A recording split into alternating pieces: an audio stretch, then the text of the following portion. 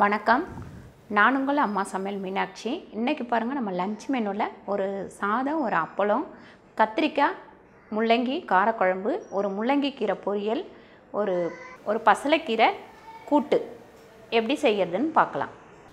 இப்போ பாருங்கள் மேலே வந்து மாடியில் நான் முள்ளங்கி போட்டிருந்தேன். அது நல்லா இப்போ வந்துருச்சு.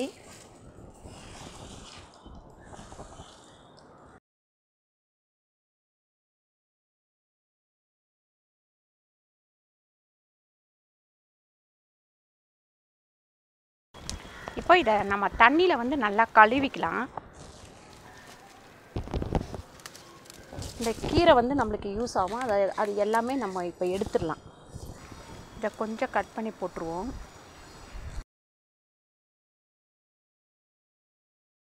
வெண்டைக்காய் வந்து தண்ணி இல்லாமல் எல்லா செடியும் கட் பண்ணி போட்டேன். இந்த ஒரே ஒரு செடி தான் இருக்குது நம்ம இதை வரைக்கும் இப்போ கட் பண்ணி எடுத்துக்கலாம். ஏதாவது குழம்பு வைக்கிறதுக்கு.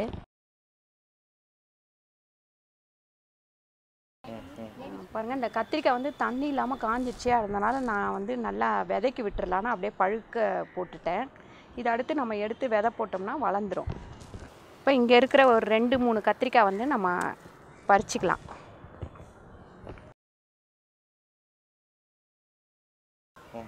இப்போ இந்த பசலைக்கீரையும் இருக்குது இதுவும் நம்ம கட் பண்ணி இன்றைக்கி சமைக்கிறதுக்கு எடுத்துக்கலாம். நீங்கள் இந்த மாதிரி கட் பண்ணிட்டீங்கன்னா உங்களுக்கு அடுத்து வளரும் போது நம்ம யூஸ் பண்ணிக்கலாம். இது வந்து சுரக்காய் செடி. பூ மட்டும்தான் பூக்க ஆரம்பிச்சிருக்கு. இன்னும் கொஞ்ச நாளில் காய்ச்சிரும். இன்றைக்கி ஒரு நாள் சமையலுக்கு முள்ளங்கி பசலைக்கீரை கத்திரிக்காய் வெண்டைக்காய் இதெல்லாம் கிடச்சிருச்சு. இப்போ கொஞ்ச நாளாக மழை இல்லாமல் இருந்த தொட்டு கம்மியாக இருக்குது எல்லாம் மழையெல்லாம் இருந்து நல்லா தண்ணி இருந்தாக்கா இன்னும் நல்லா வளர்ந்துடும் இப்போ பாருங்கள் புதினா அந்த காம்பெல்லாம் நட்டு வச்சேன். இப்போ புதினா சூப்பராக வளர்ந்துருக்கு. இது தேவையானப்போ மட்டும் நம்ம எடுத்துக்கலாம். பாருங்க பிரண்டையும் நான் வந்து தொட்டியில் வச்சுருக்கேன். இது நம்ம வேணுன்ற அன்றைக்கி எடுத்து நம்ம துவையல் அரைச்சிக்கலாம். இப்போ வேண்டாம். இன்றைக்கி ஓரளவு காய்கறி பறிச்சாச்சு.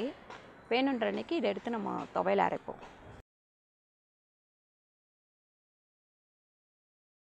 கத்திரிக்காய் முள்ளங்கி போட்டு காரக்குழம்பு வைக்க போகிறோம் இப்போ அதுக்கு தேவையான பொருட்கள். நம்ம கத்திரிக்காய் வந்து மேலே பறிச்சிட்டு வந்தோம். முள்ளங்கியும் மேலே பறிச்சிட்டு வந்தோம். இதை நல்லா கழுவி கட் பண்ணி எடுத்து வச்சுட்டேன். மஞ்சத்தூள் அரை ஸ்பூன். கடுகு உளுந்து வெந்தயம் மூணும் சேர்ந்து ஒரு ஸ்பூன் வச்சுருக்கேன். குழம்பு மிளகாத்தூள் வந்து ஒரு ஆறு ஸ்பூன் வச்சுருக்கேன். புளி வந்து ஒரு ஐம்பது கிராம் அளவு வச்சுருக்கேன். ரெண்டு தக்காளி கொஞ்சம் கருவேப்பிலை தேவையான அளவு எண்ணெய் தேவையான அளவு உப்பு. முள்ளங்கி வந்து நம்ம காரக்குழம்புக்கு போட்டுக்கிட்டோம் இப்போ இந்த முள்ளங்கி கீரையை வந்து ஒரு பொரியல் பண்ணுவோம். ஏற்கனவே முள்ளங்கி பொ கீரை வந்து பொரியல் பண்ணி காமிச்சிருக்கேன். அது வந்து தேங்காய் போட்டு செஞ்சுருக்கேன். இப்போ நம்ம வேர்க்கடலை போட்டு இந்த முள்ளங்கி கீரையை எப்படி பொரிக்கிறதுன்னு பார்ப்போம். அதுக்கு தேவையான பொருட்கள். முள்ளங்கி கீரை பொடியாக நறுக்கி எடுத்து வச்சுருக்கேன். வேர்க்கடலை வந்து ஒரு ஐம்பது கிராம் வேர்க்கடலை. தேவையான அளவு உப்பு தேவையான அளவு எண்ணெய் உளுந்து அரை ஸ்பூன் கடுகு அரை ஸ்பூன் காஞ்ச மிளகாய் ஒரு ஆறு வச்சுருக்கேன். பசலைக்கீரை கூட்டுக்கு தேவையான பொருட்கள். பசலைக்கீரை வந்து நறுக்கி எடுத்து கழுவிட்டு நறுக்கி எடுத்து வச்சுருக்கேன். பாசிப்பருப்பு நூறு கிராம் சீரகம் ஒரு ஸ்பூன் பூண்டு வந்து ஒரு எட்டு பல்லுக்கிட்ட வச்சுருக்கேன். தேங்காய் ஒரு ரெண்டு தேங்காய் பத்தையை பொ கட் பண்ணி வச்சுருக்கேன் அரைக்கிறதுக்கு. பச்சை மிளகாய் நாலு பச்சை மிளகாய் தேவையான அளவு எண்ணெய் தேவையான அளவு உப்பு. கூட வந்து நம்ம ஒரு அப்பளமும் பொரிச்சிக்கலாம். இப்போ பாருங்கள் இதில் வந்து நம்ம பாசிப்பருப்பு போட்டுக்கலாம். ஒரு ரெண்டு டம்ளர் அளவு தண்ணி விட்டுக்கலாம். ஏன்னா அலசனை கீரை அலசனது நல்லா வடித்து வச்சுருக்கேன். அதனால் அதில் தண்ணி இருக்காது. கூட்டுக்கு பச்சை மிளகாவை இப்படி கட் பண்ணி போட்டுடலாம்.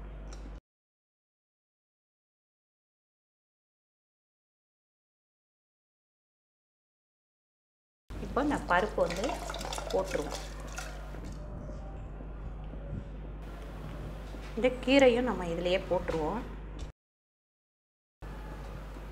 மூடிடலாம். அதுக்கப்புறமா வந்து நம்ம உப்பு வந்து வெந்ததுக்கப்புறம் போட்டுக்கலாம். இப்போ நம்ம குழம்பு தாளிக்கிறதுக்கு எண்ணெய் போடுவோம். குழம்பு தாளிக்கிறதுக்கு முன்னாடி நம்ம வந்து அப்பளத்தை பொறிச்சு எடுத்துக்கலாம். ஏன்னு கேட்டிங்கன்னா அதுக்கப்புறம் எதுக்கும் நம்ம எண்ணெய் அதிகமாக ஊற்ற போதில்ல இந்த எண்ணெயை வந்து அப்படியே குழம்புக்கு யூஸ் பண்ணிக்கலாம். இந்த புளி வந்து ஊற வச்சிடலாம். பாருங்கள் இந்த அப்பளத்தை வந்து நம்ம பொறிச்சு எடுத்துக்கலாம்.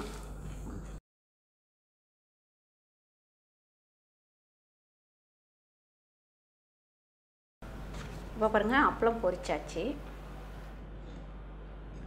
இதில் வந்து குழம்பு தாளிச்சிடுவோம் கடுகு உளுந்து வெந்தயம் இது மூணுத்தையும் இப்போ போட்டுருவோம்.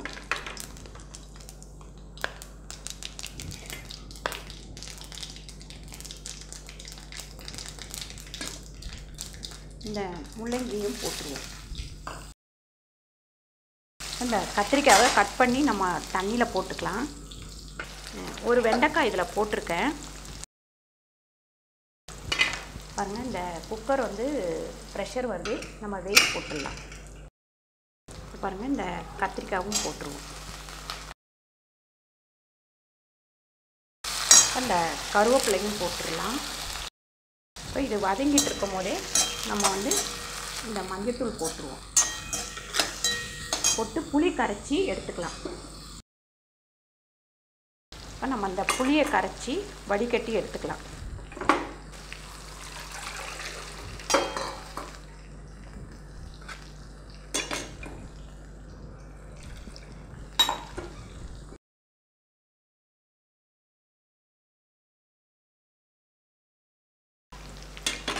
ஒரு ரெண்டு டம்ளர் அளவு நான் புளி வந்து தண்ணி ஊற்றி கரைச்சி எடுத்திருக்கேன்.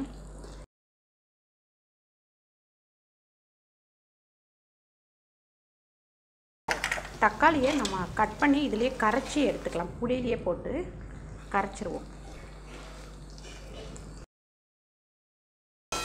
பாருங்கள் இந்த காரக்குழம்புல நான் வெங்காயம் போடலை. வெறும் தக்காளி மட்டும்தான் போடுறேன். ரெண்டாவது இதை நல்லா இந்த தக்காளியை வந்து இந்த புளியிலேயே கரைச்சிக்கலாம்.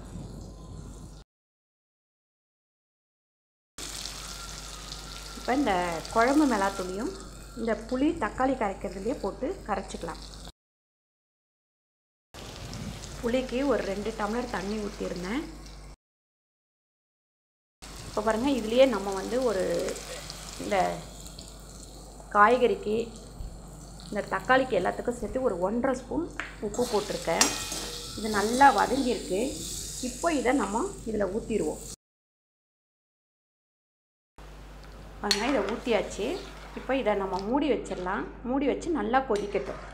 இந்த குழம்பு வந்து ரொம்ப டேஸ்ட்டாக இருக்கும். நம்ம வெங்காயம் போடல ரெண்டாவது எல்லாத்தையும் போட்டு அந்த புளியிலேயே வந்து எல்லாம் மிக்ஸ் பண்ணிட்டோம்.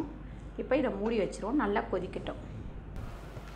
இப்போ நம்ம வந்து முள்ளங்கி கீரைக்கு முள்ளங்கி கீரைக்கு காஞ்ச மிளகாவும் இந்த வேர்க்கல்லையும் போட்டு நல்லா தூள் பண்ணி எடுத்துக்கலாம்.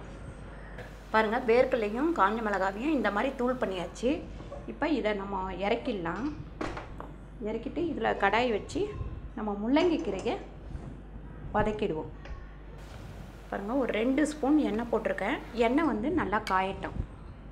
இந்த பசலைக்கீரைக்கு நம்ம இந்த ஜீரகம் இந்த தேங்காவை கொஞ்சம் நல்லா அரைச்சி எடுத்துக்கலாம். இந்த முள்ளங்கி கீரைக்கு இப்போ இந்த கடுகு உளுந்து போட்டுடலாம். இந்த குழம்பு பாருங்கள் ஓப்பன் பண்ணி பார்த்தோம்னா நல்லா கொதிக்கும். அது எண்ணெய் தெளிகிற வரைக்கும் நல்லா கொதிக்கிட்ட கொஞ்சம் சிம்மில் வச்சு மூடிடுங்க. கொஞ்சம் சிம்மில் வச்சுருவோம். மூடிடலாம். இப்போ இது கீரை போடும்போது நீங்கள் சிம்மில் வச்சுக்கோங்க. தீஞ்சிராமல் இருக்கிறதுக்காக. இப்போ மறுபடியும் ஹையில் வச்சுக்கலாம். கீரை போட்டதுக்கப்புறம் நம்ம ஹையில் வச்சுக்கலாம். இந்த முள்ளங்கி கீரையில் அதுலேயே தண்ணி வரும். அதனால் நல்லா வதங்கினதுக்கப்புறம் நம்ம வந்து தண்ணி விட்டுக்கலாம். இப்போ ஒரு கால் டீஸ்பூன் உப்பு போட்டால் போதும். ஏன்னு கேட்டிங்கன்னா இதில் உடனே உப்பு கூடிடும். அதனால் ஒரு கால் டீஸ்பூன் ஃபஸ்ட்டு போட்டு நல்லா வதங்கட்டும். அதுக்கப்புறம் பத்தாட்டி நம்ம போட்டுக்கலாம். பாருங்கள் இதை நம்ம மூடவே தேவையில்லை. இந்த கீரை வந்து அதுவே வெந்துடும் அதில் இருக்கிற தண்ணியே வந்து வெந்துடும் கரெக்டாக இதை வந்து தண்ணி வந்து கீரையிலேருந்து தண்ணி வந்திருக்கு. தண்ணி நம்ம ஊற்றவே இல்லை. ஆனால் அதுவே தண்ணி நல்லா வத்துற வரைக்கும் வதக்கிக்கலாம். இப்போ குழம்பு வந்து நல்லா கொதிச்சிட்ருக்கு. இன்னும் கூட நமக்கு வந்து குழம்பு இன்னும் நல்லா கொதிச்சு நல்லா அப்படி நம்ம ஊற்றின எண்ணெய் வந்து லைட்டாக தெளியணும். இப்போ பாருங்கள் இந்த பசலைக்கீரை நல்லா வெந்துருச்சு. தண்ணி வந்து கரெக்டாக இருக்கும். இப்போ இது கரெக்டாக இருக்கும். நம்ம இந்த தேங்காவையும் ஜீரகத்தையும் அரைச்சி இதில் விட்டுட்டு தாளிச்சிடலாம். பாருங்கள் நல்லா தண்ணி வற்றி நல்லா சுருண்டு வதங்கிடுச்சு. கீரை முள்ளங்கி கீரை இப்போ நம்ம இந்த அரைச்சி வச்சுருக்க இந்த பொடியை போட்டுருவோம். வேர்க்கடலையும் காஞ்ச மிளகாவும்.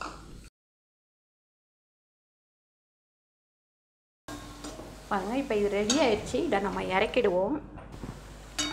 இறக்கிட்டு இந்த கூட்டை வந்து இதில் வச்சுருவோம். இப்போ நம்ம உப்பு போடவே இல்லை. இந்த கூட்டுக்கு ஒரு ஸ்பூன் உப்பு போட்டுக்கலாம். நல்லா கொதிக்கட்டோன்ட்டு கொஞ்சம் நேரம் கொதிக்கட்டும். இப்போ இந்த தேங்காவும் ஜீரகமும் அரைச்சி வச்சுருக்கோம். இதை வந்து இதில் விட்டுறலாம்.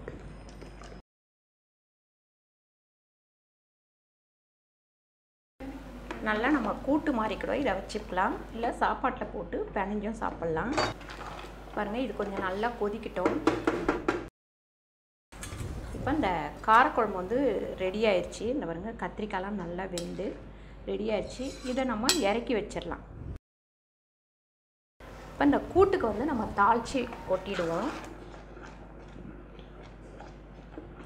இப்போ இது போதும் நம்ம ஆஃப் பண்ணிடலாம். இப்போ இதில் வந்து நம்ம ஒரு ஸ்பூன் எண்ணெய் போட்டுக்கலாம். நல்லா எண்ணெய் காயட்டும். பாருங்கள் எண்ணெய் நல்லா காஞ்சிச்சு. இப்போ இந்த பூண்டு போட்டு நல்லா செவக்கிட்ட விட்டு இந்த கீரையில் போட்டுருவோம். நல்லா வந்து இந்த பூண்டோட கலர் வந்து நல்லா மாறிடணும். அப்போ தான் அந்த வாசனை நல்லாயிருக்கும் பாருங்கள் இப்போ ஆஃப் பண்ணிவிடுவோம் ஆஃப் பண்ணிவிட்டு இதில் போட்டுடலாம். இப்போ சிம்பிளாக ஒரு லஞ்சு ரெடி ஆயிடுச்சு பாருங்கள் சிம்பிளாக ஒரு லன்ச் மெனு ரெடி ஆயிடுச்சு சாதம் நம்ம வீட்டு தோட்டத்தில் பறித்த கத்திரிக்காய் முள்ளங்கி ஒரு அப்பளம் ஒரு முள்ளங்கி கீரை ஒரு பசலைக்கீரை கூட்டு. இந்த மாதிரி நம்ம சும்மா இருக்கிற நேரம் தோட்டத்தில் ஏதாவது கொஞ்சம் வேலை பார்த்தோம்னா இன்றைக்கி ஒரு நாள் செலவு மிச்சமாயிடுச்சு பாருங்கள் இதே மாதிரி நீங்களும் ட்ரை பண்ணி பாருங்கள்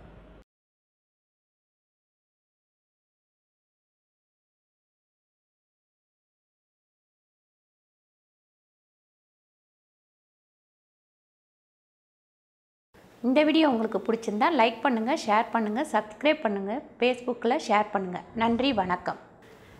இன்றைக்கி நம்ம ஒரு டிப்ஸு சொல்ல போகிறேன் நான். அது என்னன்னு கேட்டிங்கன்னா உட்காந்தே வேலை பார்க்குறாங்க இல்லைங்களா? அவங்களுக்காக. மாதத்தில் ஒரு நாள் பார்த்திங்கன்னா அந்த வேப்பம் கொழுந்து எடுத்துக்கோங்க. அதில் கொஞ்சோண்டு பெருங்காயம் வச்சு நல்லா அரைச்சிட்டு உங்களுக்கு வந்து தண்ணியில் கலக்கிட்டு குடிக்க முடிஞ்சால் குடிங்க. அப்படி கு- அந்த மாதிரி குடிக்க முடியாது அப்படிங்கிறவங்க ஒரு உருண்டையாக ஒரு உருண்டை பண்ணி வாயில் போட்டுக்கிட்டு தண்ணி குடிச்சிருங்க. இது பார்த்திங்கன்னா உங்களுக்கு உட்காந்தே வேலை செய்கிறதுனால பசி எடுக்காது கொலஸ்ட்ரால் பிரச்சனை இருக்கும். இதெல்லாம் வந்து இதில் நல்லா ஆகிடும் இதை நீங்கள் வந்து ட்ரை பண்ணி பாருங்கள்